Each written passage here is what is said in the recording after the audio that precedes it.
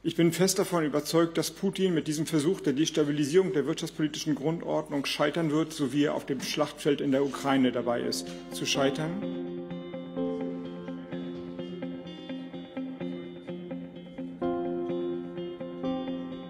Wir werden in diesem Jahr einen Rückgang gegenüber der Projektion von April des Wirtschaftswachstums haben.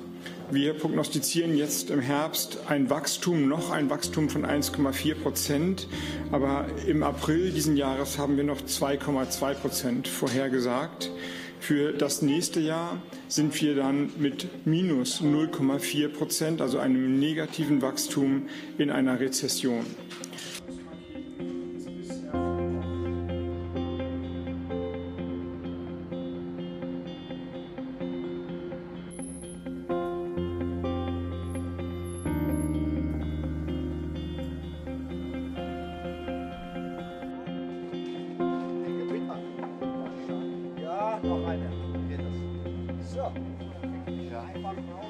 An der Stelle möchte ich nicht spekulieren, aber was man sicherlich sagen kann und was die Dienste und äh, die Experten sagen, ist, dass dies trivialerweise, glaube ich, inzwischen kein natürliches Ereignis sein kann.